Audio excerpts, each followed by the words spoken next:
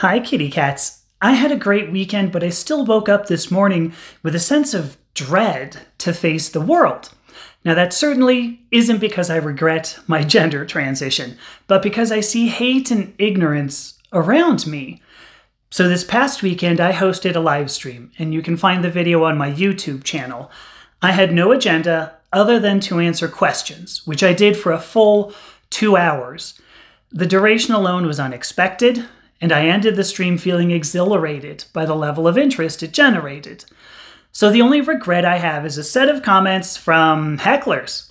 Now, I think I'm adequate at handling hecklers. I defended my doctoral dissertation and presented a million dollar budget to a vice president of a major aerospace corporation before I was 30 years old. I'm equipped to handle a couple of people who find it humorous to misgender me and call science lies. So, what affects me is how people respond to their ignorance. Rather than try to learn, these people felt it appropriate to be mean on the internet, and anonymously, no less.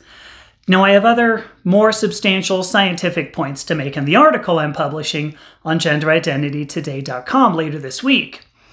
Shutting down our ability to acquire more information about our universe is dangerous.